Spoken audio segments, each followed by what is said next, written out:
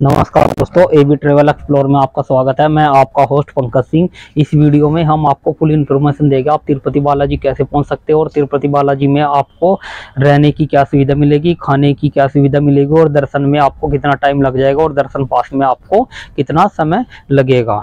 ऐसा माना जाता है कि तिरुपति बालाजी में खुद विष्णु भगवान जी विराजमान है। वहाँ पर जितने भी भक्त डेली आते हैं, लाखों की संख्या में श्रद्धालु आते हैं। तो जो भी अपनी सच्चे मन से मनोकामना मांगते हैं तो विष्णु भगवान जी उनकी मनोकामना ज़रूर पूर्ण करते हैं और जब उनकी मनोकामना पूर्ण हो जाती है तो वह दोबारा तिरुपति बालाजी टेंपल आते हैं और अपना मुंडन कराते हैं। तो आइए वीडियो को शुरू करते हैं और वीडियो में बने रहे। अगर आपने अभी तक हमारे चैनल को सब्सक्राइब नहीं किया तो प्लीज़ हमारे चैनल को सब्सक्राइब कर लीजिए ताकि ऐसी इन्फॉर्मेटिव वीडियो आप तक पहुँचती रहे। बात की जाए तिरुपति बालाजी कैसे पहुँचा जाए तो तिरुपति बालाजी पहुँचने के लिए आपके पास दो बेस्ट ऑप्शन है। या तो आप बाय ट्रेन आ सकते हैं या आप बाय फ़्लाइट आ सकते हैं। आपको हर छोटे बड़े शहरों से ट्रेन आसानी से तिरुपति के लिए अवेलेबल हो जाती है और आपको बड़े शहरों से फ़्लाइट भी अवेलेबल हो जाती है। तिरुपति रेलवे स्टेशन के बाहर ही आपको रोडवेज़ बस मिल जाएगी। आप रोडवेज़ बस में बैठकर सर्व दर्शन टोकन बुकिंग के लिए, दर्शन पास निकलवाने के लिए सबसे पहले वहाँ पहुँचेंगे। वहाँ पर आपको अपना आधार कार्ड साथ में रखना है और आधार कार्ड दिखाकर आप दर्शन पास निकलवा सकते हैं। दर्श, ऑफलाइन दर्शन पास निकलवाने के बाद वहाँ पर जो आपको दर्शन के लिए नंबर मिलता है, वह है ट्वेंटी फोर हावर्स एवं फोर्टी हावर्स के बाद ही मिलता है। आप कोशिश कीजिए तीन सौ रुपये पे करके आप ऑनलाइन दर्शन पास पहले से ही निकलवा कर आए। दर्शन पास निकलवाने के बाद में हम पहुँचेंगे तिरुमाला, जो कि तिरुपति से 22 किलोमीटर है। लगभग आपको तिरुमाला पहुँचने के लिए एक से डेढ़ घंटा लग जाएगा। जो बस का टिकट है, वो 65 से लेकर 70 रुपीज़ लग जाता है। रास्ते में आपको चेकिंग बैग की चेकिंग वगैरह भी होती है। आपको 10-15 मिनट आपको वहाँ पर भी लग जाते हैं। तिरुमाला पहुँचने के बाद में सबसे पहले आपको होटल लेना होगा। अगर आप दूर से आते हैं तो पहले से ही होटल ऑनलाइन बुक करा कर आए। तिरुपति बालाजी वेबसाइट पर आपको आसानी से काफ़ी होटलों की लिस्ट मिल जाएगी। क्योंकि यहाँ पर होटल ना मिलने की प्रॉब्लम आपको पहले से फेस करनी पड़ सकती है। दर्शन पास में आपके जो दर्शन के नंबर होगा, वो ट्वेंटी फोर हावर्स के बाद ही मिलेगा। अगर आप ऑनलाइन तीन सौ रुपये पे कर कर दर्शन के लिए आते हैं तो आपका जो नंबर है, वो जल्दी ही आ जाएगा। हम होटल में जाकर, नहा धोकर दर्शन के लिए निकल जाते हैं। दर्शन से पहले आपको अपना जो भी लगेज है, यानी कि सामान है, वो अपने रूम में ही रख कर जाना होगा। अगर आप मंदिर के पास में लगेज रूम में अपना सामान जमा करते हैं तो वहाँ पर भी आपसे दो से तीन घंटे आपको सामान डिपॉजिट करने में ही लग जाएगा। मंदिर के अंदर किसी भी तरह की वीडियोग्राफी एवं फ़ोटो फोटोग्राफी अलाउ नहीं है, इसलिए अपना मोबाइल भी आप अपने लॉकर में ही रख कर आए।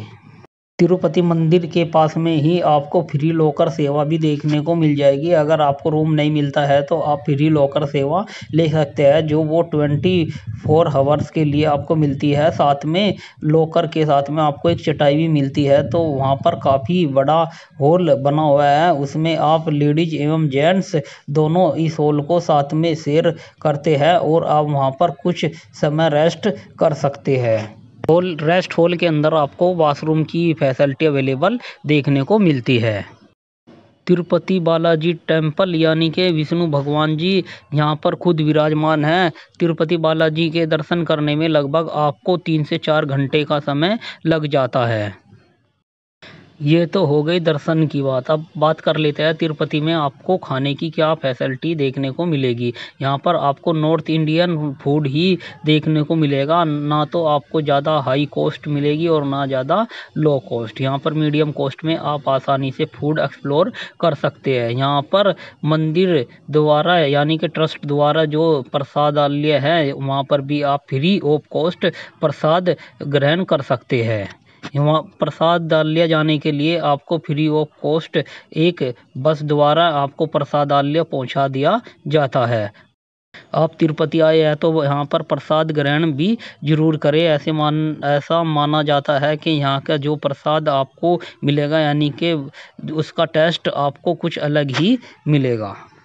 तिरुपति टेंपल के पास में ही यहाँ पर नारियल हट कोकोनट हट बना हुआ है। वहाँ पर आप कोकोनट फोड़ कर फोड़ सकते हैं, क्योंकि यहाँ पर कोकोनट फोड़ना काफ़ी शुभ माना जाता है और यहीं पर ही आप दीपक जला सकते हैं। यहाँ पर दीपक जलाना भी काफ़ी शुभ माना जाता है। जितने भी श्रद्धालु आते हैं, सभी यहाँ पर कोकोनट फोड़ते हैं और बीस रुपये में आपको कोकोनट काउंटर से परचेज कर कर आप कोकोनट फोड़ सकते हैं और नारियल तोड़ने के बाद में आप पास में ही वहाँ पर दीपक जलाना भी काफ़ी शुभ माना जाता है।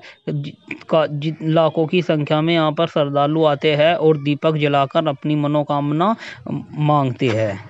बात की जाए अब तिरुपति बालाजी में आपको रहने की क्या सुविधा मिलेगी? अगर आप तिरुपति ट्रस्ट द्वारा चलित होटल में ही बुकिंग लेना चाहते हैं तो आपको ऑनलाइन पहले से तिरुपति बालाजी वेबसाइट से ऑनलाइन बुक कर कर आपको आनी होगी।